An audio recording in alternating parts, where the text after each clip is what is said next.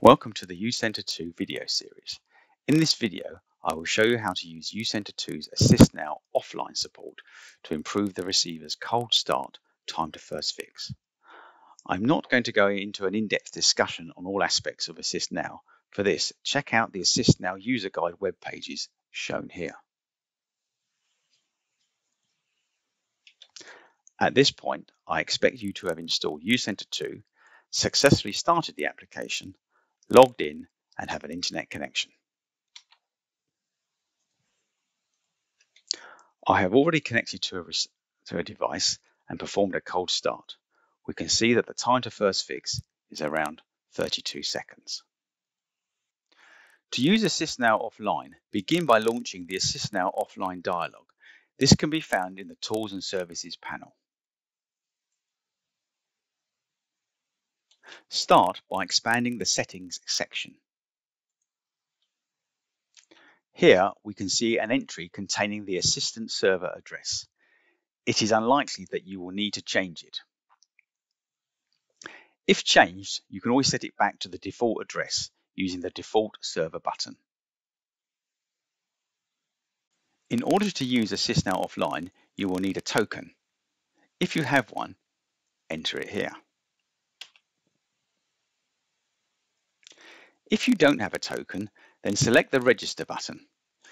This will take you to a web page where you can apply for an evaluation token.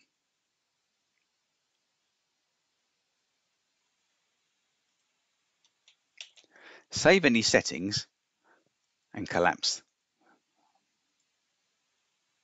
The next step is to select the assistance data to request from the assistance server. First select the type of data Select the orbit prediction and almanac for each constellation required.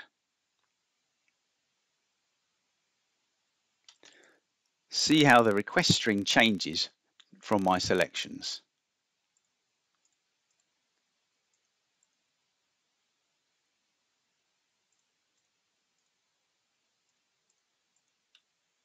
The more data I select, the larger the download will be. As I'm only using GPS in my selected constellations, I will only select GPS data. Select how many days of assistance data you require. Here I have selected seven days worth. Select the resolution. With a resolution of 1, the request will be for data describing the satellite orbits for each day. So the smaller the resolution, the more data is required. Now that I have made my data selections, I can download the data. Once downloaded, we can see the size of the data. The next step is to specify time and position aiding parameters, which u-center 2 will send to the receiver with the downloaded assistance data. For time aiding, u-center 2 will send your PC's clock time as UTC. We have to specify the accuracy of this time and these are the options. They're described in the user guide. Here I have selected Assume Accurate PC Time. For position aiding, u-center 2 can send an approximate position to the receiver. This can be entered manually or use the last known position.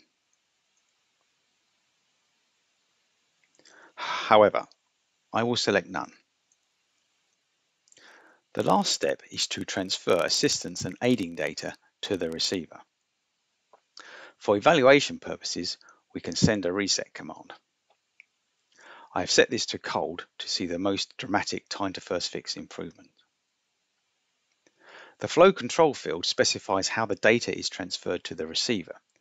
This is described in the user guide.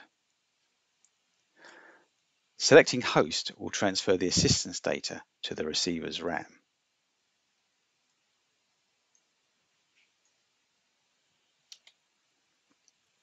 Finally, selecting transfer with reset and aiding will cold start the receiver and start the transfer process.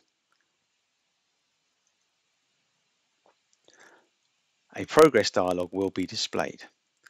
If all went well, we should see a dramatically improved time to first fix. If the transfer process blocks for any reason, The Stop button will terminate the transfer process.